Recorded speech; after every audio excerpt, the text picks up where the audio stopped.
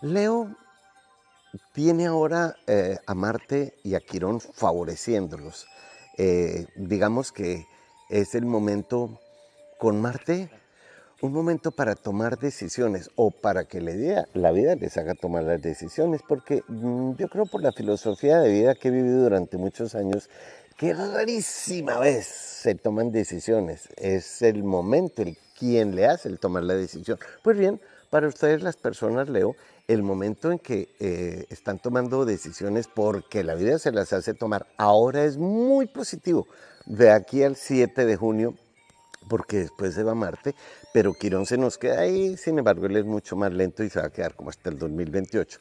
Lo importante es que con Marte es ya, como, el dedito, pues, vamos por aquí o vamos por acá, y es el momento entonces para saber qué van a hacer, con quién, con ustedes mismos.